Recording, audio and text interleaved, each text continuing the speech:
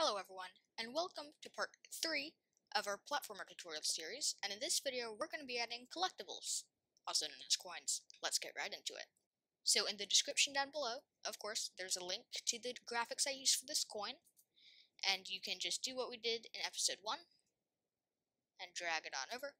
And by the way, if you have not seen the previous episodes, there's going to be a card in the upper right hand corner of your screen. Go ahead and click that, check it out, and then come right back to this video.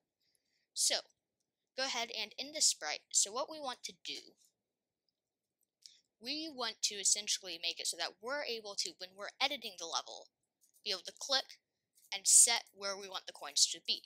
And then when we play it, it appears there every time. But then as soon as we collect it, we want them to disappear and change our coins by one. And this will allow us to later implement a shop. Maybe you should subscribe to um, find out when that is uploaded. So, let's go ahead and get right into it. So what we want to do is add a when key space pressed, because that's the key we're going to be using. You can make that whatever you want though. Go ahead and now we need to make some lists and variables. For the lists, go ahead and go coin, coin, ah, coin y's for all sprites, make sure it's for all sprites, and then coin x's. Then go ahead and do coin levels. And as you guessed, the first two are pretty self-explanatory. They're the x's of all and y's of all the coins. And then coin level shows what item of each of these lists is on what level, so that it only appears if the level crit's on the correct level. Ugh, I can't talk today. So, let's go ahead and add, and then go ahead and to coin x's, duplicate that, and then make it coin y's, add mouse x and mouse y,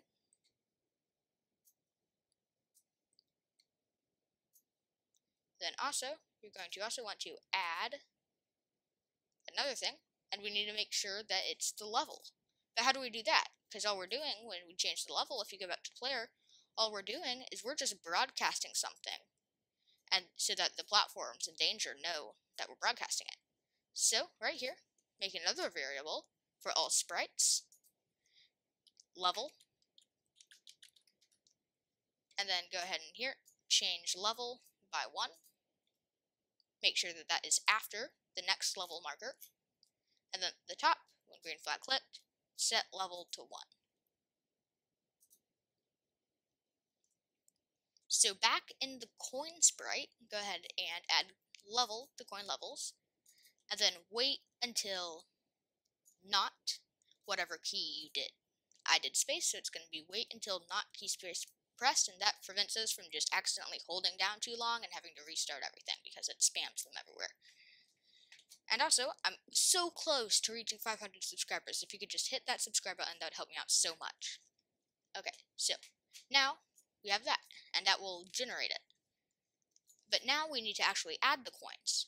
So, when green flag clicked, now we're going to make another variable, call it letter hash, for this sprite only. That is very important. This also doubles as like a clone number variable.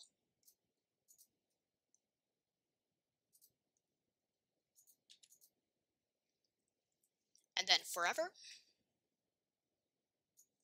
repeat until, and this is a loop inside of a loop, as I bet you've seen many times if you've watched my videos. Repeat until not, and then inside of that not, go ahead and add an equals. not item letter hash item letter hash of coin levels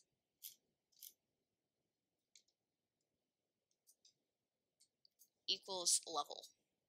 So what this is doing is this loop will be going on making clones. So let's go ahead and add that and then I'll explain. So go ahead and create clone of myself and then change letter hash by 1.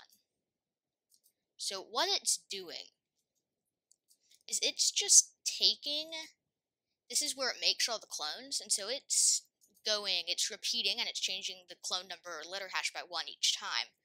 And it's reading each time to make sure that the number of clone that it's on and is about to make is not going to be for the next level. It makes sure that it's still only making clones that are going to appear for this level.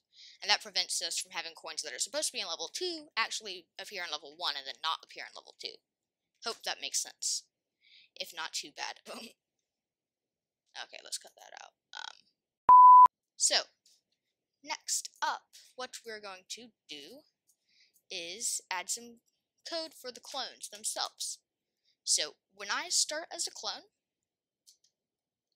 what we'll want to do when I start as clone, show, because, well, if I remembered, I doubt I did remember to do that. Uh, yeah, up here you'll want to, when green flag close, you want to hide the...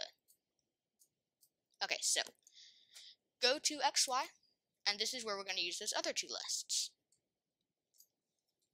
And I doubt you know this, Wolf. You probably do if you're good at Scratch, if you've been doing it for a long time. But the reason you see tutorials and you hear them say, make sure it's for this sprite only, is because if it's for all sprites, the clones have the same value.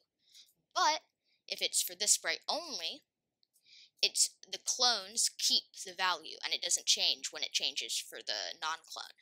So this is why. So it's able each clone is able to have its own ID and allows it to do different things based on that ID. So I assume you've been following along with me, but go ahead and go to X item letter hash of coin X's, and then go to Y item letter hash of coin Y's.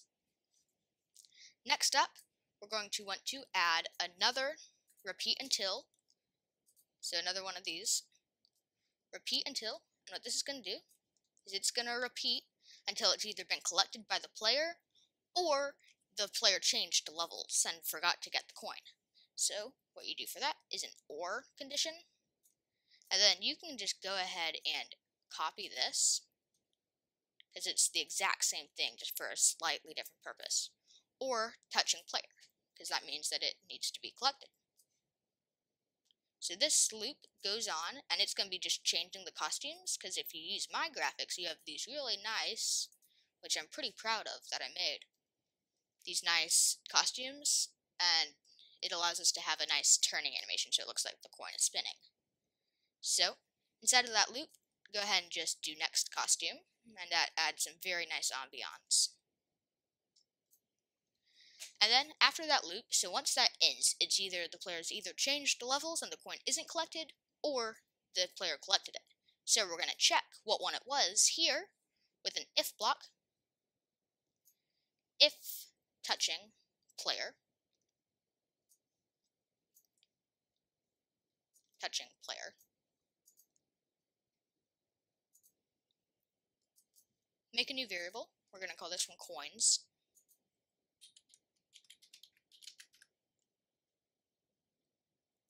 Change coins by one. And then if you want, you can add a sound. I won't just because you guys won't. Oh, I already have it here. So yeah, let's do coin. Um, you won't be able to hear it in my recording because my recording software is weird and doesn't record that, but yeah.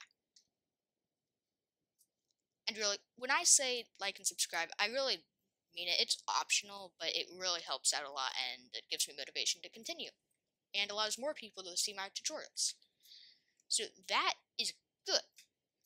Ready to test it? I bet you are, but not yet. One thing would be fatal if we do not do. We need to go ahead and set coins to 0 at the beginning. So now let's test it. So obviously, it nothing will happen right now because there are no coins. But now if you click space while you place them,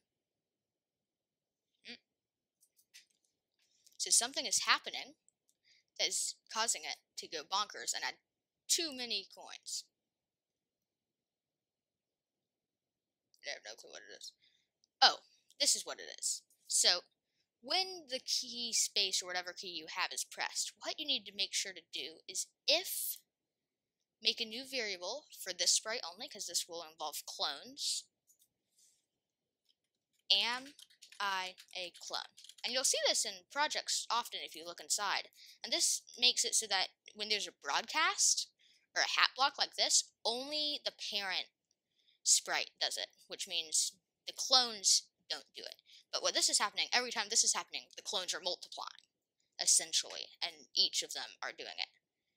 If am I a clone equals 0, which means it's not a clone. And then, when green flag clicked, set am I a clone to 0.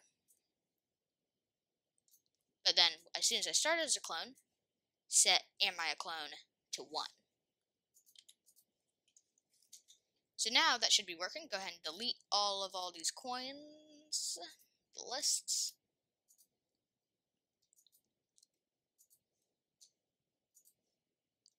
And then let's go ahead and test it now. That's why we always test. So go ahead and press space or whatever key you have, and it'll make the coins. Now you can play. And it collects. I can't reach that one, I put that too high. So, make more coins, do that. Probably won't be able to get that one. But and you can experiment and delete as necessary until you find something that works. Thank you guys for watching. Be sure to like and subscribe. I'm almost at 500 subscribers. If you could just help me reach that milestone, that would be awesome. And I'll see you next time.